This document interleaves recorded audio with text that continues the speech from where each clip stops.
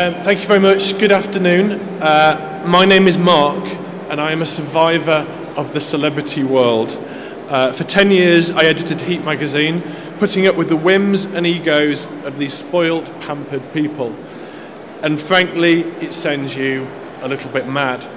By the end of the 10 years, I'd stolen interviews from other magazines, congratulated Victoria Beckham in print for the fact that she was pregnant with a baby girl, when of course it wasn't, it was a baby boy, and even got one of my team to uh, manage to talk their way into, to infiltrate, very topical this, Cheryl and Ashley's wedding. Uh, after an hour of sweet talking and cajoling, we found out they'd infiltrated completely the wrong wedding. As I say, the celebrity world it turns you, turns you a bit mad. However, over the course of that 10 years, we'd also done something quite big and important in the world of magazines.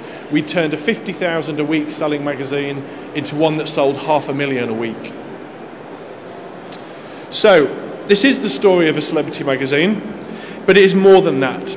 It's a story of how understanding your market and your customers is of prime importance, and how being different and have the strength of your beliefs mean you can actually shape an entire market.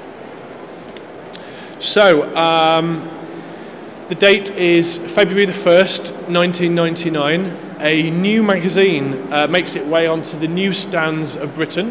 Uh, we put about 300,000 copies onto the newsstands of Britain. Most of them stay there, it's fair to say, for the entire week. Uh, in fact, there's many in the industry who think they're nailed to those shelves. Um, Heat magazine was meant to be a very wordy, very serious look at the world of entertainment, at the world of music, television, and film. Not many pictures in it, lots of words. Uh, it was very serious. It took the whole thing very seriously. Um, and no one bought it. We were the most famous magazine flop of a generation. We were putting out 300,000 copies. We were selling about 50,000 every single week. People were writing about us. They were saying we were going to close. It was a bit of a disaster, to be frank.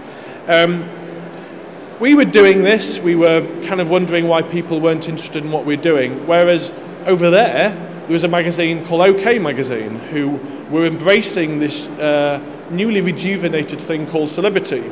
They put Victoria and David on the cover for their wedding, and they were embracing everything about the celebrity world, whereas we were just concentrating on the world of entertainment and it being a bit dull about it. And we knew we know we needed to change at this point. We just the sales were not coming through. If you do a weekly magazine and you're not selling many copies, you lose an awful lot of money, and we were losing an awful lot of money.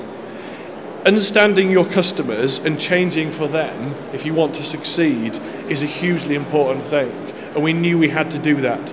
We were in the entertainment world, over there was the celebrity world, and they were doing very, very well. Something needed to change. Um, about nine months into the magazine, so we're now in early 2000, we decided to revolutionise the magazine completely. The entertainment thing wasn't working. The celebrity culture, as we now know it, was growing by the day. So we embarked on Plan B. And Plan B, as so many Plan Bs at the time, involved Victoria Beckham. After a few months of cajoling, we managed to get her to do an interview. And we were selling around about 50, 60,000 at this point. With this issue, we leapt to 170,000. A lot of people talk about the success of Heat and the success of a lot of businesses that change what they do as being in the right place at the right time. That is simply not true. There are some very lucky people who do end up in the right place at the right time. But what we did, and what many customers are doing now, what many companies are doing now, is they're changing the way, they work so they are in the right place at the right time. But that takes a lot of effort. You very rarely just land there. We wanted to go where the action was, we wanted to go where the excitement was. Um, so, we'd had a big sale of 170,000, we immediately fell back to 60,000, and we needed another big interview and we needed it fast we were approached by a journalist who'd done an interview with Robbie Williams for an international magazine. Who, uh, and the interview was really good, it was really explosive, and we wanted it on our cover. Only slight problem is she'd signed a piece of paper that said she could only sell it to the magazines she'd been commissioned by, and it wasn't to be given to anyone else. We knew this, but we were desperate. These were desperate times. We'd had a kind of sense, a feel of the good life with some higher sales, and then we'd fallen down immediately. We needed to do something about it. So we brought up the interview. And then uh, at the end of the interview, which was so good, we decided to divide into two. At the end of the interview, we said, um, next week, part two. You can't get enough of this interview. We've delivered you part one. We're going to deliver you in seven days' time, part two. And people were really excited. This was a great thing. This was a Robbie Williams interview, an explosive Robbie Williams interview, and we were promising them part two, where he was going to talk about his feelings for Kylie Minogue. No one had done this, no one had run this story, a total exclusive we thought we were top dogs until the day after we came on sale and we received a legal letter from Robbie's lawyers who said, uh, as you well know, the journalist who wrote this piece signed a piece of paper saying they weren't allowed to send, sell it to you or anyone else. Uh, we're going to sue you for loads of money, and and then this is the this is the killer. Uh, you can't run part two. Part two of the interview you cannot run, and. Um, we had the real problem because we'd promised this to people. And because we now had a few more customers, because we now had a few more people who were into the magazine, into the new ethos of the magazine, we were just about to let them down in a really brutal way just after months and months of effort going into re engaging them, spending it with money on a new ad campaign, and getting people to see the world the way that we wanted them to see it. And we were, you know, we kind of fell apart. This was an absolute disaster for us. So we had three days to somehow get a cover feature together. I dispatched various members of my team into the kind of uh, the back room at Heat magazine to find uh, the back issues that we'd done, the back issues that other magazine and newspapers had done. Somehow we managed to cobble together a piece where we found a quote from Robbie where he was talking about Kylie, found a quote from Kylie where she was talking about Robbie, and finally we hadn't let people down. These customers, these people who'd come to us, who liked what we were doing, uh, we weren't going to let them down. Finally, we had something to show them. And I think the lesson I learned from this is in any company that you're trying to turn around, you need to be brave and you need to make decisions and you need to be strong.